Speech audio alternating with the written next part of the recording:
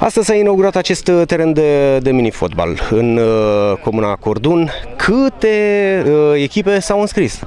Pentru început s-au înscris doar 8 echipe. Am zis să mai facem încă două echipe pentru un meci, uh, zicem, uh, omagial la sfârșitul, uh, când se termină finala. Uh, Datorită ajutorului primit din partea primăriei și a Consiliului Local, uh, s-a rezolvat și cea mai, să zicem, uh, spinoasă problemă cu acest proiect Care, care cu terenul uh, sintetic, care de mult a fost dorit, dar acum cu ajutorul primăriei și a Consiliului Local s-a rezolvat această problemă. Dar de când a apărut această idee a acestui uh, teren de mini-fotbal?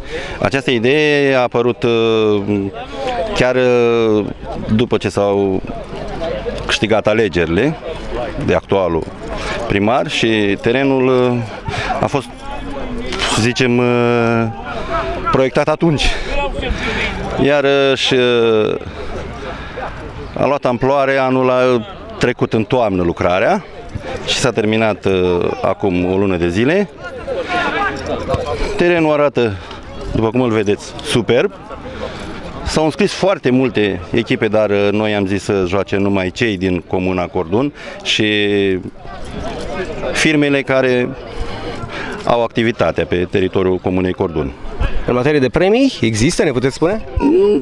Premii. Premiile se dau în diplome, medalii și, să zicem, o bere și mici la sfârșit. Deci sunt, uh, sunt simbolice doar ca să marcheze evenimentul acesta. Sigur că da, sigur că da. Cum au reacționat cordunenii când s-a, s-a deschis acest uh, teren de, de mini-fotbal? Să știți că le-a plăcut foarte mult ideea și, după cum vedeți, foarte multă lume.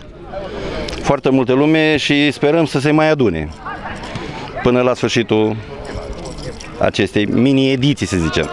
N- n- N-a apărut selecționerul naționalei, nu? Încă nu a apărut, încă nu a apărut, contra că a avut treabă. Mulțumim foarte mult și succes! Mulțumim și noi și mult succes în continuare.